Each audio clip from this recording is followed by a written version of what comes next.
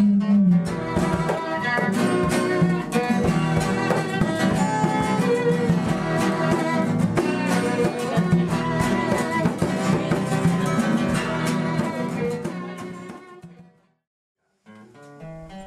223 Field Study in Art History Global Cultural Studies to Haiti is a short term faculty led education abroad course now offered through Keystone College.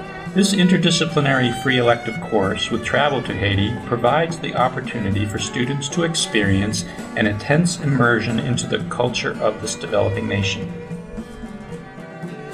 Through transformational study, which emphasizes a major shift or change in a student's way of knowing, Students will learn about themselves and their world through the Haitian culture, through areas of study determined by each student in consultation with their instructor.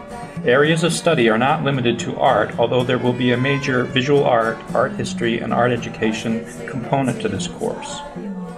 The course consists of three preparatory seminars a 12 day travel experience to Haiti, a post travel seminar, and a final presentation meeting.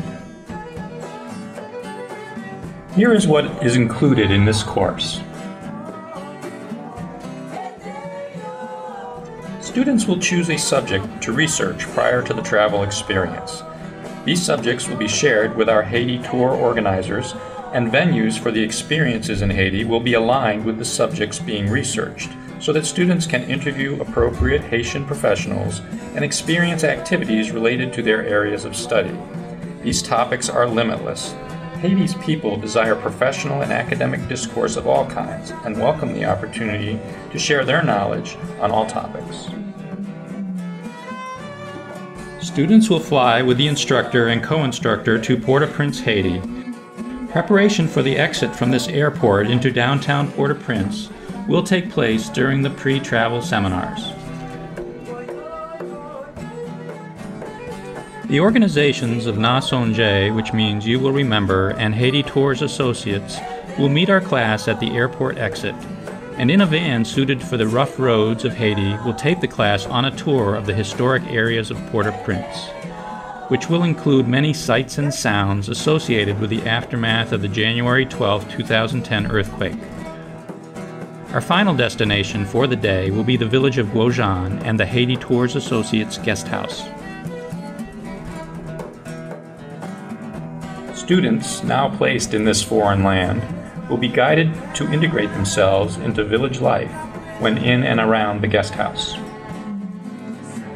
Daily activities will include short language and cultural lessons, eating meals, time for reflection and writing, time for group meetings, and a variety of activities based on study topics.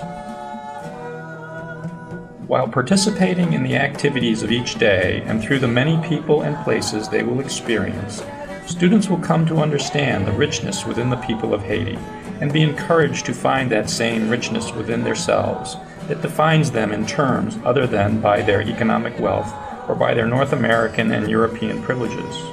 By placing the student outside their cultural comfort zone, they will begin to alter their perceptions of their world through a deep and enriched change fostered from this study abroad experience. Departing from Haiti and returning to the U.S. will be a profound experience for all in many different ways.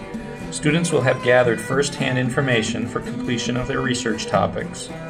But aside from that, they will have developed a bond with these people, and Haiti will always hold a part of their heart for when they return. Students will return from Haiti with an altered or transformed way of knowing their world, with new and unusual methods for investigating their world. There will be a seminar meeting to process the trip as a group, and then there will be a meeting to present research projects. If you are interested in participating in this course, please arrange a meeting with this instructor. That is the best way to get started. Then there is the application found on the Global Learning website link or in the office of Global Learning in Sigler Hall. I am Associate Professor David Porter, and I am your instructor for this course. Bonsoir. Haiti awaits.